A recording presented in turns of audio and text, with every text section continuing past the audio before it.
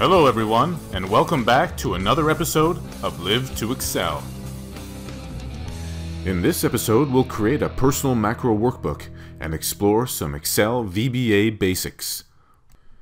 The first step to mastering Excel VBA is to enable the Developer tab inside Excel. This will enable us to see both the macros and the interface of VBA inside Excel.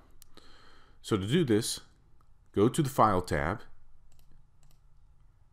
and Options.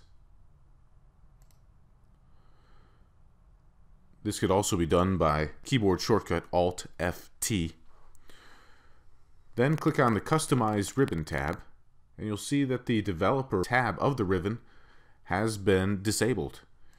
Enable this and click OK. Immediately you'll see the Developer tab has been added to the ribbon.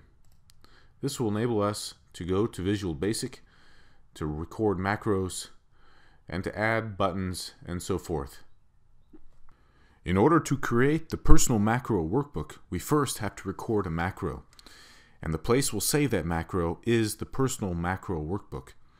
So to record a macro, press the record macro button, but instead of saving this macro to this workbook, save it to your personal macro workbook.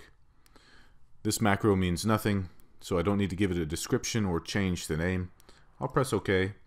Simply click in another cell or do any action in Excel you'd like, then press the stop recording button. Congratulations! You're now the owner of a personal macro workbook. That's great and all, but how do I view it? I'm glad you asked. First, go to Visual Basic. The keyboard shortcut for that is Alt F11 if you get tired of navigating to the Developer tab and clicking the button. And as you'll see, we now have a personal macro workbook. This is a place where we can store additional modules that will house macro codes or VBA script that we will be able to run from any instance of Excel. This is fantastic if you have specific actions that you like to perform in any number of Excel instances. You don't have to store the code in that workbook, but you can store it in your personal macro workbook and it will be accessible to you no matter what Excel workbook you have opened. The best way to start using your newfound power is probably to begin with the macro recorder. So by pressing the macro recorder, you can record literally almost every action that you take in Excel. So let's name this macro 2 in our personal macro workbook.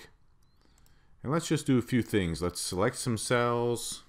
Maybe we'll even put a number in all of these cells. And then let's delete them. When you're finished macro recording, press the stop button and then open VBA.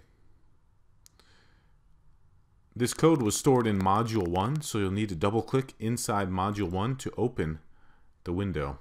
So here's the first macro that we recorded earlier, where we only selected cell B1, and then we stopped the recording. Here's our new macro. You can see the range that we highlighted is written in VBA code.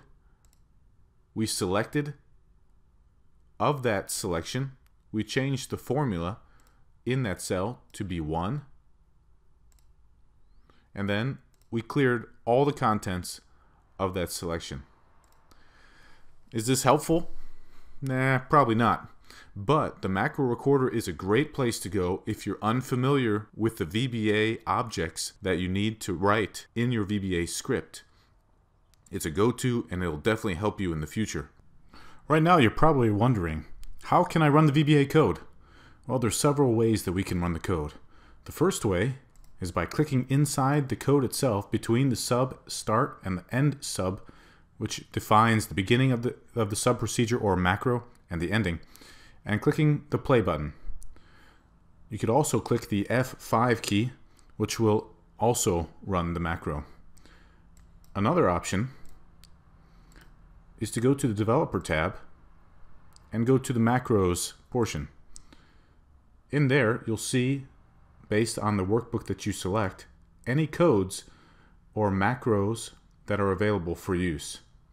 So in order to run macro 2, you select it and click the run key. We can see that the macro is run by seeing all the cells being selected.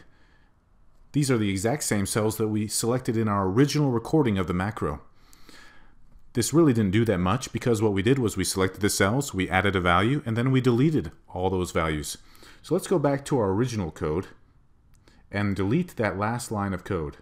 So we only have two lines of code now. We'll select the entire range, and then in each cell of the selection, we'll change the formula to the value 1. So I'm going to click the play button, and immediately all the cells are selected, which they were already. But then all of the values in the cells were changed to 1. Now that you've seen how to make a personal macro workbook and how to use the macro recorder, the possibilities are endless. You can make many, many macros and have many hours of enjoyable fun, if that's possible, with Excel. Thank you very much for listening, and until the next time, keep living to excel.